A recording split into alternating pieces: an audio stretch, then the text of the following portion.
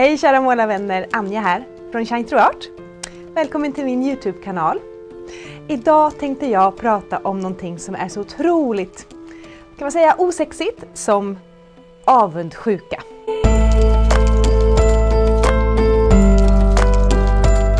Avundsjuka för andra konstnärers fantastiska verk, avundsjuka för andras underbara produktion, avundsjuka för folks kunskap och hantverk.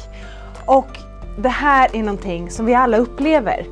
Kanske varje dag, i alla fall med jämna mellanrum så är det som att avundsjukan slår på oss som en blixt från klar himmel och vi plötsligt bara står där och jaha, nu då? Det här med avundsjuka är någonting som jag ofta får höra från deltagare och följare att det här är någonting som man upplever men man pratar inte så mycket om det för det är lite, lite tabu, lite liksom, det är inte riktigt fint, det är inte um, man, man, ser sig inte som en god människa om man känner avund på den här nivån som jag pratar om.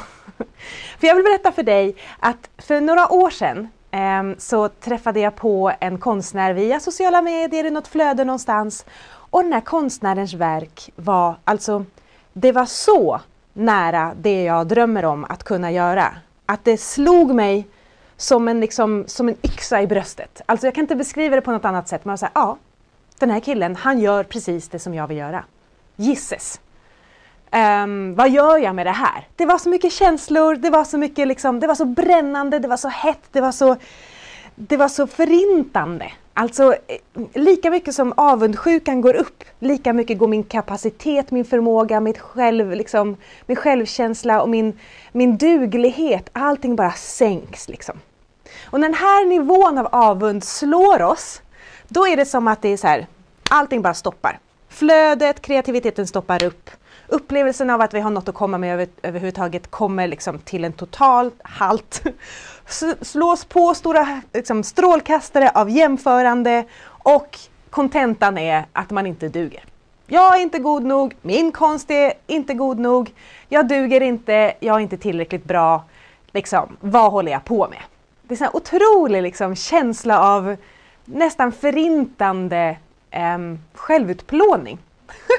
det kanske låter jättedramatiskt i dina öron men för mig, alltså, jag har ett väldigt livligt känsloliv och jag tror inte att jag är ensam om det. Men det här är faktiskt verklighet. Det tog mig, det tog mig flera veckor faktiskt att närma mig den här konstnären igen. Vi pratar här, det här är flera år sedan. Det tog mig flera veckor att närma mig den här konstnärens verk, ens öppna någon form av hemsida, titta på vad han har gjort. Och, liksom, och det var så här, det var så det var som att han hade klivit in i mig och gjort det som jag längtade efter att göra och jag tekniskt såg att shit vad han, han har jobbat jätte, jättehårt för att uppnå det här. Kommer jag någonsin komma dit? Liksom.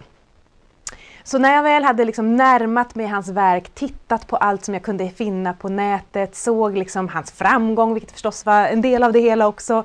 Um, att han liksom var, var så älskad för det han gjorde var så fantastiskt. Så var det liksom en eh, Ja, jag behövde vara väldigt snäll mot mig själv när jag tittade på det här och bara var där i den här brännande punkten av avund. Och då kände jag så här, okej, okay, jag kan lära mig någonting här. Den här avunden är en gåva. Jag gjorde ett val. Jag valde att se den som en gåva. Varför? Jo, någonstans så tänker jag så här, det finns flera positiva saker med det. Det berättar för mig om att det här som jag håller på med här är så viktigt att jag kan liksom slås ut så mycket. Det berättar för mig om min passion för måleriet. Bra, check på den, positivt liksom. Det berättar också för mig att min längtan efter utveckling, efter att uttrycka mig, efter att lära mig, den är eh, otroligt liksom, stark, aktuell och viktig. Det berättar den också, den här avunden. Check! Det berättar också för mig om att jag har mer att lära. Att jag ödmjukt får berätta för liksom, mig själv och omvärlden att ja, det här är, jag har liksom inte alla eh, kunskaper ännu, jag är inte hantverksmässigt tillräckligt skicklig ännu för att kunna jämföra mig eller kunna åstadkomma de här verken. Och nu är det så att väldigt få omkring mig vet ju om att den här personen har ruckat mig så här mycket, den här konstnären har ruckat mig så här mycket. Um, och det, det, spelar egentligen ingen roll, men i mig så är det så här, ja, du håller fortfarande på att lära dig Anja. Liksom. Bra, äg det. Äg att du har mycket kvar att lära, att du har många saker kvar som du inte kan och också äg det valet att om du inte övar så kommer du inte komma dit. Och sen så, så den här grejen med att liksom inse att det finns en styrka i, i avunden har tagit mig vidare och gjort mig starkare. Vad som hände sen, eftersom det här är många år sedan, så kan jag berätta vad som hände. var ju att eh, jag var i lite mailkontakt med den här konstnären, det här var i England. Eh, och vi, typ skulle, vi skulle ses och jag skulle få se hans ateljé eller något sånt där. Men sen så hann jag flytta tillbaka till Sverige, så det blev aldrig av. Men, eh, och det var lika bra, för jag var, skulle varit så starstruck så jag vet inte vad jag skulle liksom tagit vägen med mig själv. Och vad som hände vidare var att, okej, okay, men tog jag med mig allt det här som jag såg i den här konstnärens verk in i mitt måleri och gjorde liksom typ kopior på hans verk sen? Nej, är svaret. Och varför? Därför att det är ständigt det här fantastiska ehm, jobbiga men otroligt verkliga glappet mellan vad jag tänker att jag vill måla och det som faktiskt blir. Min inre konstnär, mitt inre konstnärsbarn som jag ofta pratar om det som, har en annan agenda. Så jag tog med mig massa inspiration från hans verk. Jag tog med mig eh, liksom, kanske färgskalor, kanske tekniker, kanske ljussättningar, så här. det var landskap som han höll på med.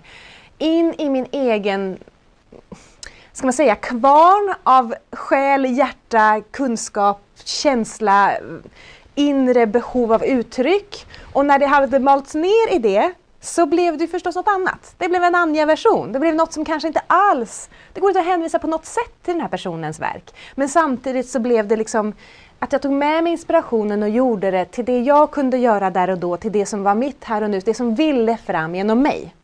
Så inspirationen kommer in som en vad ska man säga, som något vi lägger på oss. Det är tanke, det är en känsla, det är liksom, och avunden är en extrem version av inspiration. Så jag säger det igen. Avund är en extrem version av inspiration. För vi blir så drabbade att vi, liksom, att vi inte riktigt vet vart vi ska ta vägen. Och genom det så, så händer någonting också nytt i vårt skapande potentiellt. Om vi vill och vi tillåter. Men det måste genom oss själva. Liksom. Så då eh, när jag väl hade på något vis bearbetat, det tog något år, kanske två eller fler, för mig att på något vis absorbera den här vidden av inspiration som jag fick från den här konstnären till, liksom, till att på något vis bearbeta det in i mitt. Och sen så, sen så var jag liksom klar med honom. Sen hade, och, och han, de verken som kom under den här tiden hos mig i mina landskap är som sagt inte alls, går inte att hänvisa till honom alls. Men det var avgörande för mig i min process. Att få med mig det här. Så, Igår kväll hände något liknande. Jag hittade ytterligare en konstnär som totalt slog mig ur, slog mig ur mina spår. Liksom. Oh my god, den här kvinnan gör precis det jag vill. Oh!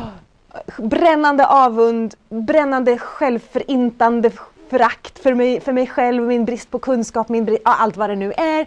Oförmåga, otillräcklighet, allt bara duschas över mig. Och jag ligger där, för jag låg i sängen och hade min lilla pojke snusande bredvid och bara såg och tittade i, i sociala medier och såg hennes verk där och bara okej, okay, is. Is genom hela mig. Okej, okay, så nu är det så här igen nu då. Det kommer förmodligen ta ett tag för mig att närma mig hennes verk och så får jag se vad jag tar med mig. Igen, vad ger mig avunden för budskap? Passionen. Herregud vad det här spelar roll för mig. Herregud vad det är viktigt för mig det här. Eh, vad, vad det liksom verkligen blir en, en orsak att inte släppa, att fortsätta vara i det som är så viktigt för mig. Eh, min passion, min drivkraft är skapandet, ljuvligt. Det andra var, okej, okay, det finns massa tekniska saker att lära mig här. Eh, jag måste öva. Vill jag, vill jag nå någonting åt det här hållet, min version av det här som, som jag nu beundrar så mycket, då behöver jag öva. Gisses vad jag behöver öva. För det är teknisk kunskap, det är hantverksmässighet som jag bara, bara, bara kan närma mig om jag gör många, många, många, många, många versioner av det. Och sen var det just det här att um, jag kan lära mig att det här är, det här är någonting som, som jag måste fortsätta med. För det finns ingen annan väg. Det här är, det här är så stort och så, liksom, så behöver bli så prioriterat. Det här med avunden skulle jag vilja säga, låt oss avdramatisera det, låt oss normalisera det, låt oss eh, enas om att vi alla upplever det och låt oss hylla den extrema inspirationen som avunden ger. Och låt oss liksom se hur vi kan mjukt ta in det in i vårt och gör, låta det bli en process. Så de här konstnärerna som jag pratar om då, som inspirerar mig så mycket, det är samtida konstnärer som alla verkar hålla till i typ England och sydvästra England där jag bodde länge. Så jag var liksom, eh, det här är Devon och Cornwall i sydvästra England och de här landskapen som jag var del av, ehm, pratar nästan tio år som jag bodde där. Det kan ju också hända att de här personernas verk då har liksom med mig att göra för att de här landskapen som de illustrerar eller avbildar eller gör tolkningar på är liksom en del av min, mitt liv. Eh, så du kommer liksom hitta, så, men vad är det med den här konstnären som du känner sån otroligt stark känsla inför, vars verk talar till dig? Kanske så pass att du blir brännande het av avund. Eh, fin, vad finns det för dimensioner där? Och för mig är det nog också det här med landskapen. Eh, jag har länge målat landskap, nu kommer jag tillbaka till dem. Vem är jag nu? Vem är jag nu när jag kommer in i landskapens värld? Och då vill jag påstå att avunden här är min vägvisare på mitt nästa steg. Vad som blir av det är ju bara tiden som kan utvisa. Men flaggning här för att avunden är giltig, den ska inte vara skambelagd, den ska vara en kunskapskälla, en gåva som ger dig information om dig själv. Om något är tillräckligt viktigt, då kan avunden kicka in och vara otroligt verklig. Så ta med dig avunden som en krona som du bär med stolthet. Okej, okay. här har jag budskap till mig själv, här har jag information om mig själv, här är jag en gåva som jag kan använda och göra någonting av i mitt skapande, i min process. Ah, Okej, okay. om du känner igen dig i det här med avund, skriv gärna en kommentar om den här tankebanan var användbar för dig på något sätt. Ge mig en tumme upp, jag vill gärna höra om du fann det användbart, alltså skriv en liten, en liten kommentar. Älskar att läsa från dig. Och också det här med att, att känna skam kring avunden. Om det är någonting du känner igen dig i och, um, så, så vill jag gärna veta det också vill också påminna om att imorgon 29 april har jag en workshop i Art Journaling. Det finns platser kvar. Den är online och du kommer få lära dig alla fördelar med att arbeta i en liten bok som du skapar själv under workshopen. Och vi kommer lära oss sju stycken komponenter som gör eh, att du vet hur du ska göra när du möter en vit, ett vitt uppslag. Men också ditt sätt att arbeta. Vad är det du vill göra? Hur är det du vill använda den här fantastiska metoden som får till nya sätt för oss att skapa som vi inte ens visste att vi hade, som vi sen kan ta in när vi målar på canvas. Så kom med mig imorgon, det finns alltså platser kvar och vi, vi kommer ha jätteroligt, du kommer få lära dig om, om collage och om olika tekniker med både text och bild och färg. Så häng med, all information finns under den här videon.